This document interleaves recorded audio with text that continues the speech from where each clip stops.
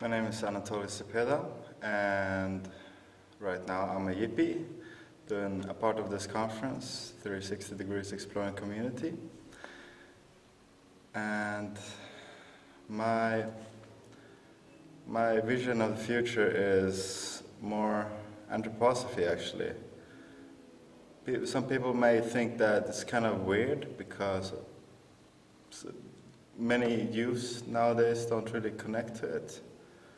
But I see it like in a new way because it's as Rudolf Steiner said that you can't define anthroposophy change day to day, or yeah, you can't label it in any ways.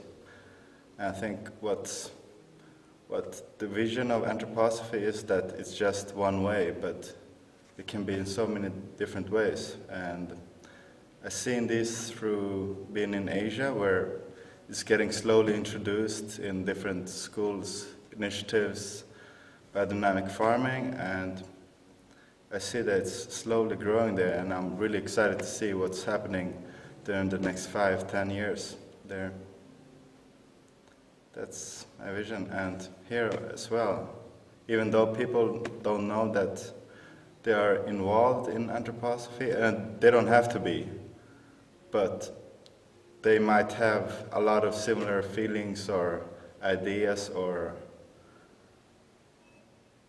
I don't know, not background, but uh, base that they stand on that is very similar to what the basic idea of anthroposophy 100 years ago is that will be bigger and bigger now.